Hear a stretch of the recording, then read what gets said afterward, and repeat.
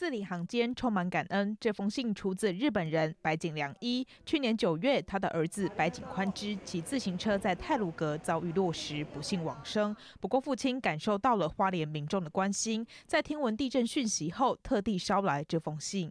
本着慈济助人的心，帮助他小孩处理啊他小孩的事情，啊让他一直敏感在心，啊最后在我们花莲发生这些意外的时候。他也能很能够及时的就回馈回来，所以善的循环，爱不止息。地震当时，东区紧急医疗应变中心立刻启动，花莲市区四家急诊医疗院所透过中心人员和系统互相联系，才能顺利的度过这次大量伤患的救治。其实我们的人数并不多啦，我们就是呃六位勤务员再加上两位助理。那事实上，这个简讯一发出去，就是全员就召回了。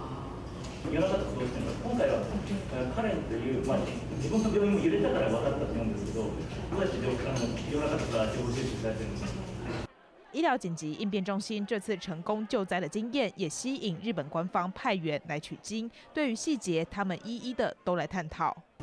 今回も、えー、台湾に来さ来させていただいて、ハーレンの地震の経験知識をみんなで共有して。该怎么与地震和平共处，不只是台湾与日本要面对的问题。